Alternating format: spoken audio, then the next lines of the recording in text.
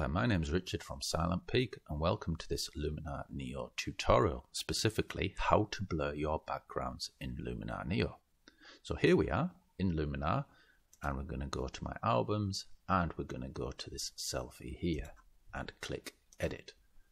Now I've chosen this selfie because it's not a particularly good photograph and is kind of representative of most selfies in that the image quality is perhaps not that good, the composition is not that good, and most of our background is entirely pin sharp.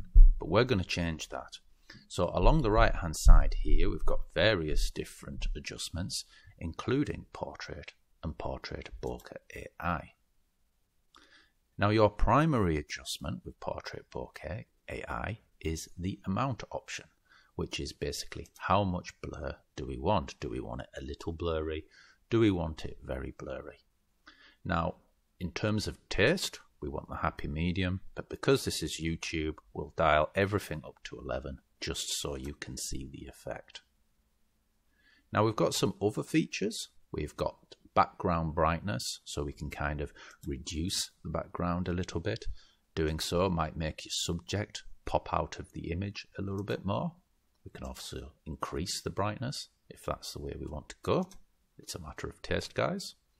We also have the ability to add a bit of glow to the highlights. So if we've got sort of bright light sources behind me, which in this photo we don't really, we can sort of emphasize those bright points and it looks really good, especially if you sort of ahead some LED lighting, Christmas tree, that kind of thing. You get these nice little sparkles. Warmth, we can make our photo cooler in terms of white balance. We can make it warmer. Again, entirely a matter of taste, but since I'm wearing a jacket, we'll go for the cool. Depth correction, so this is how immediate our blur is. So at the moment, we can see that everything in the distant background is very blurred. Immediate stuff in the background, less so. Now we can change that. So we can make it so almost everything is very blurred. Or we can go the other way and make it so almost nothing is blurred. So the immediate things behind me still remain very sharp and it's only really when we get to the mountains back here are we seeing any kind of real type of blur. So let's go extreme for the sake of YouTube. And then we've got edge correction. Now, in some cases, most of the time, Luminar Neo does a very good job picking out the subject from the background. If your photo is slightly more complex, you might notice you get a few sort of anomalies and you've got the ability to brush those. But an easier way to do it is to adjust the edge correction. So what we can do is we can sort of contract the edges, but this is having a rather sort of strange effect on my hair in particular.